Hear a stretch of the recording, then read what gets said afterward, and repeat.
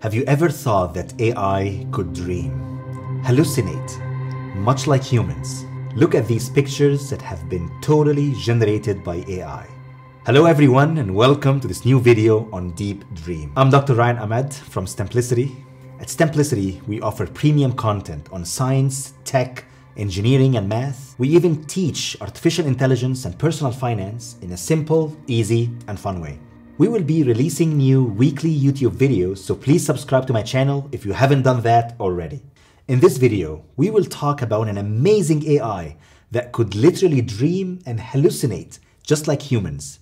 The algorithm is known as Deep Dream. Deep Dream is a computer vision algorithm created by Alexander Mordvintsev from Google. I hope I pronounced it right. The algorithm works by creating dream-like effects. It's like giving humans an extremely powerful drug.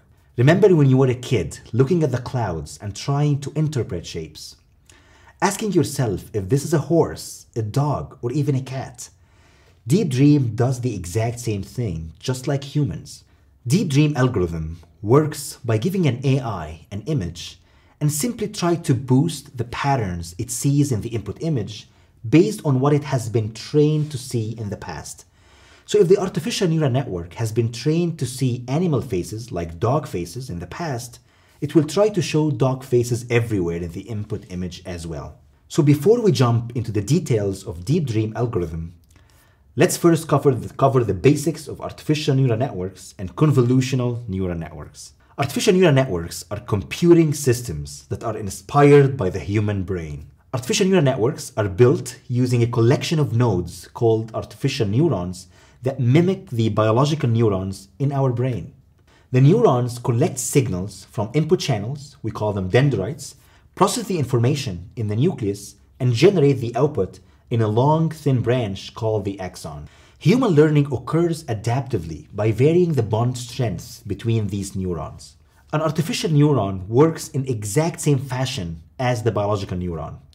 The neuron process information coming from several inputs, x1, x2, x3, multiply them by several weights, weight 1, weight 2, weight 3, and then generate an output afterwards. A convolutional neural network is a certain type of artificial neural networks that works like magic with images.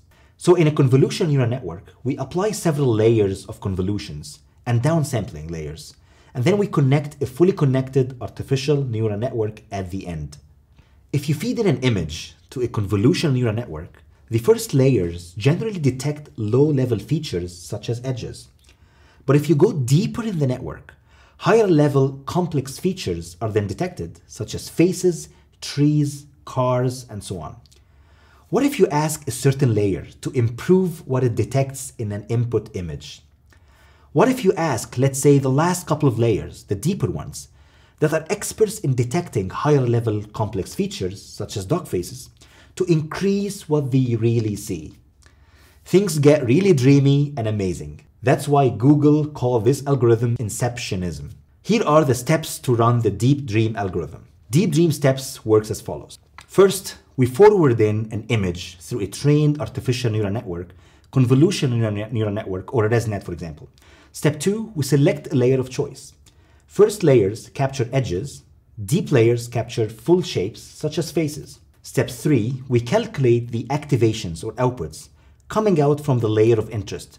We average that out and consider that to be my loss. Please note that in normal cases, we try to minimize the error or the loss using gradient descent. However, Deep Dream works a little different. We will perform gradient ascent in this case because we want to increase the loss so we can boost the activations of our networks. So in step four, we are going to calculate the gradient of the activations, which is a loss in this case, with respect to the input image. And step five, we'll perform gradient ascent by modifying the input image to increase the activations and therefore enhance a pattern seen in the network. This will result in a trippy, hallucinated, amazing images. And we'll keep iterating and repeating over multiple scales. Let me show you how Deep Dream works in code. All right, so let's take a look at the Deep Dream algorithm in action. So first, we're going to import or install TensorFlow 2.0 first, and then we are going to import all our libraries and packages. And then we're going to make sure that our TensorFlow version is 2.0. And then we are going to load or import a model with pre-trained weights.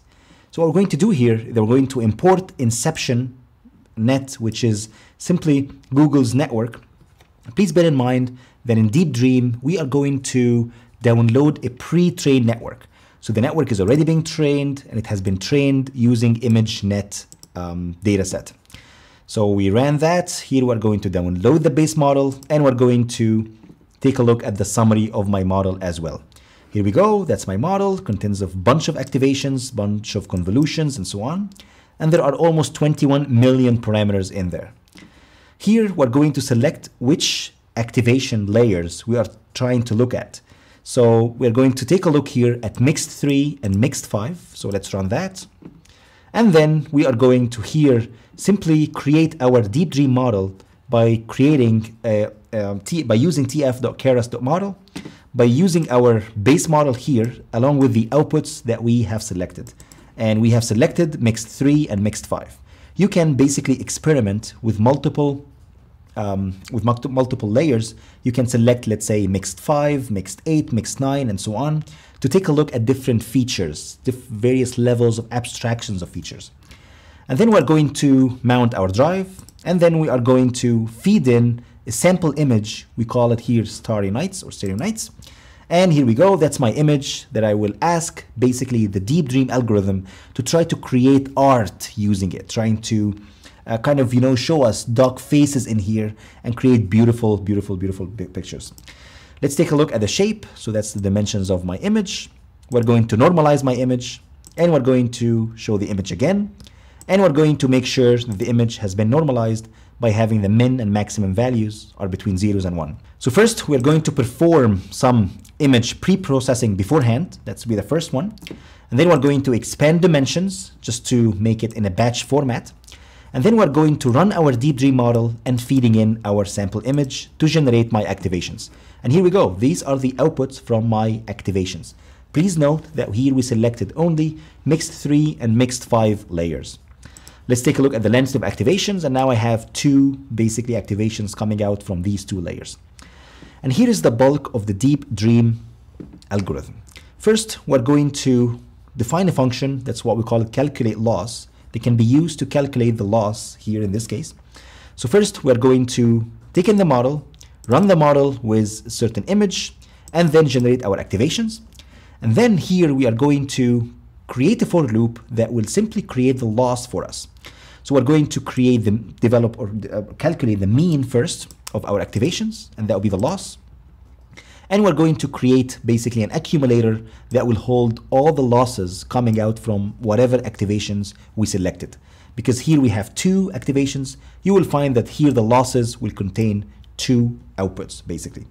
And then what we're going to do is we're going to sum up simply the activations coming from both layers. So let's run that, looks good.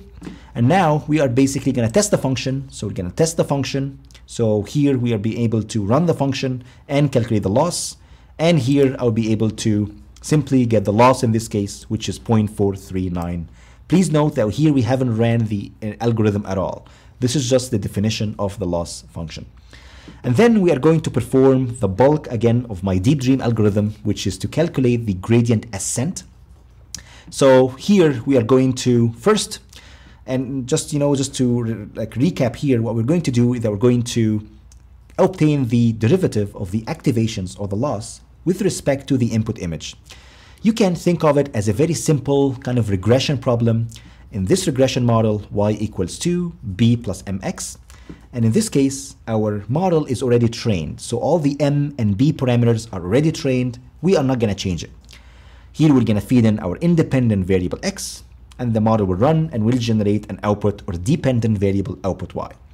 And what we want to do simply is that we wanted to try to increase the output. That's what I want. I want to increase the activations. I want to know how can what how much should I change the input x so I can increase my y. That's all what it is. And that's exactly the same idea of my deep dream algorithm. So to do that, we are going to calculate the gradient dy with respect to dx which is a derivative of the activations with respect to my input image. That's all what it is. and that will give me the gradient. And then we're going to take my gradient, multiply it by the learning rate, and then add it up to my previous x, which is my previous image in this case, to come up with a new image.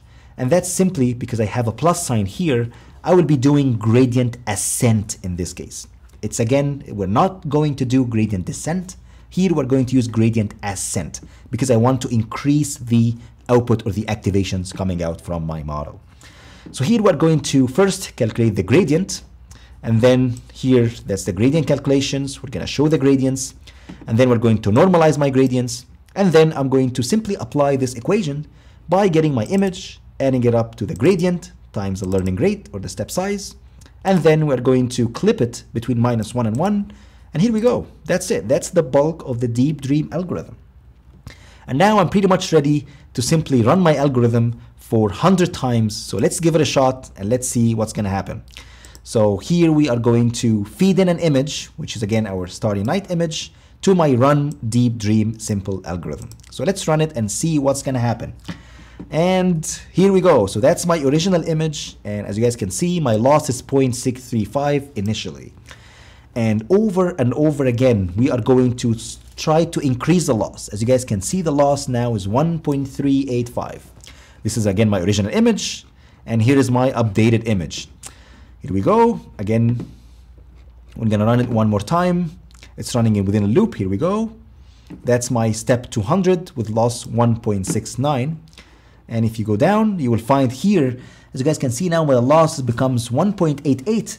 And you guys can see some eyes here starts to appear, you know, which is again coming out from the previously trained features coming out from specific layers within my network. And these are mixed three and mixed five layers. Here we go, that's step 400, loss is 2.01. Again, tons of eyes starts to appear. And here we go, an amazing AI artist trying to create the best art ever. As you guys can see here, eyes more appear here. The sun starts to appear a little bit more prominent and the loss becomes 2.19. Here we go, 2.26. You got the idea. And that's the overall all idea of Deep Dream algorithm in just, you know, I'm trying to make it as simple as possible within only five minutes or so. So let's stop that. What I'm going to show you here is we found that we can improve the performance of the Deep Dream algorithm if we try to rescale the image multiple times and run it again. So this is just the idea of running the deep dream algorithm, but with different scale size. That's all what it is. So let's run that and you will find that here the actual performance of the network and the actual images will become more seamless, will become much, much better. So here that's again my loss is 0.63. Now the loss is 1.38 and we leave it run for a little bit here. So that's step 200. Again, the eyes here starts to appear, all the features starts to appear. Here the loss is 1.7. Again, here the loss is 1.884. Again, here it's getting better and better. And we're going to simply create, like run the deep dream algorithm mainly for five steps. So we're going to be for loop of five steps with various sizes with what we call it octave scale. And here we go. So here, that's the, the first step. That's a second loop. As you guys can see here, it becomes a lot more smooth. As you guys can see here, it becomes much, much better. Okay, so compared to the previous one. And here we go. That's much, much better. Here are the all the beautiful dog eyes here. Again, pretty incredible. You know, like, and again, here it's much, much better. And it's getting better and better and better. Now it's the best time to be alive, and now it's the best time to master AI and machine learning. The field is exploding with opportunities and career prospects. If you like the video, please hit the like and subscribe for more videos. Enjoy AI and happy learning.